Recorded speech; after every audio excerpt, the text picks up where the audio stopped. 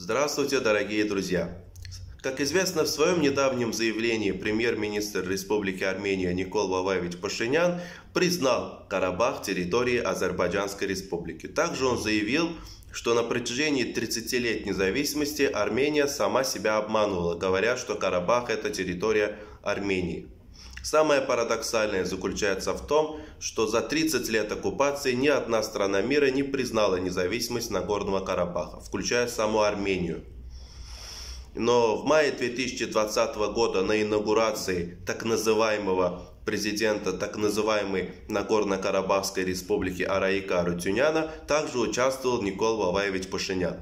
В качестве кого он участвовал на инаугурации Араика Рутюняна неизвестно.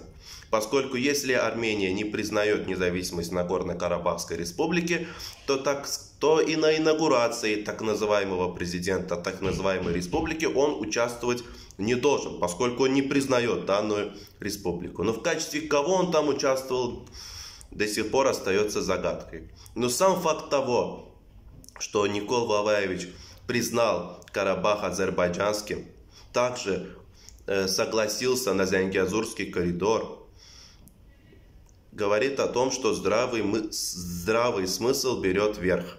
И действительно, согласившись, согласившись на Зангиазурский коридор, Армения выйдет из блокады, в которой она находится с 1991 года, то есть с момента обретения независимости. Выход из блокады, безусловно, отразится на экономике и на уровне жизни населения Армении, что, безусловно, немаловажный фактор для него, как для руководителя армянского государства. Я, мне, как гражданину Азербайджана, очень приятно слышать и видеть, что здравый смысл э, в Армении наконец-таки взял верх.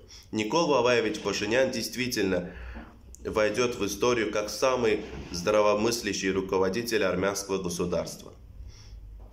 Также я хочу надеяться и верить в то, что бывшие руководители Армении Роберт Качарян и Серж Саркисян будут арестованы и приговорены к пожизненному заключению, поскольку они являются врагами как азербайджанского, так и армянского народа. Такие люди не должны находиться на свободе. Пожизненное лишение свободы – это единственное, чего они заслуживают. Хотя, как по мне, то в отношении них нужно использовать исключительную меру наказания – смертную казнь. Поскольку в смерти каждого убитого азербайджанца и армянина за обе Карабахские войны виноваты именно они – Роберт Качарян и Серж Саркисян, как инициаторы данного конфликта. Но надеюсь, что и этот день нам удосужится увидеть. Вот это я хотел сказать. Всем спасибо за просмотр, всем удачи и до свидания.